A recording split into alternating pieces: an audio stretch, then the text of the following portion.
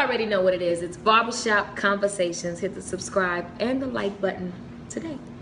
Barbershop Conversation, guys. Feel free to hit the subscribe button. So I just heard Nate Campbell on 78 Sports TV's uh, um, YouTube channel, and God, he said something that was so profound. He says, if black people and white people serve the same God, hasn't God chosen a side? Whew that was one of the more profound quotes that I've ever experienced. I I think that, but I've never articulated that in that manner. I'm gonna abide by that by that quote. Um, if you guys have been following me for some time, I always challenge the religious status quo because I mean, if your president is white, your God is white, Santa Claus is white, all your teachers are white, who are you abiding by?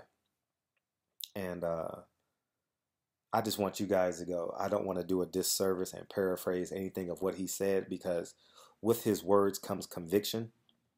And I think you need to hear the conviction in which he speaks. So uh, I'm going to put the link in a description box. This is the, one of the better interviews I have heard in a long time. Um, this is actually where I wanted to go with Stephen A. Smith, but I couldn't. I wasn't. Uh, I wasn't. I couldn't afford the time because I had to respect him at first. Then I had to. Excuse me, and but now that I have a relationship with, with Stephen A. Smith, just because when I interviewed him the second time at the Andre Ward Kovalev fight, he says, "Hey, you the guy that interviewed me last time. Come on, let me give you an interview." So we're building a relationship, and I really want to sit him down and talk to him as if I am his equal, you know, and the cooning that he does. But anyhow, this is not about him. This is about Nate Campbell, former world champion. I had the fortune enough to meet him one time. I met him one time, and uh, we spoke. And he's a tough son of a bitch.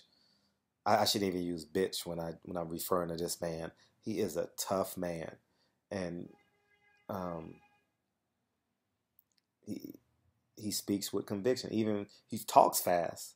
In person, he talks real fast, so you got to keep up. But man, loved this interview. 78, great job. I'm mad you cut him off and cut the interview short. I don't know if you had to go, he had to go, but I needed 30 more minutes of that for real.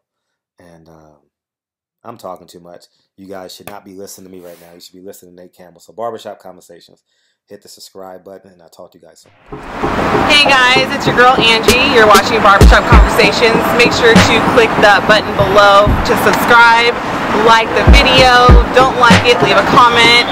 Um, you can also follow me at um, Angelica Curtis on Instagram. See you soon.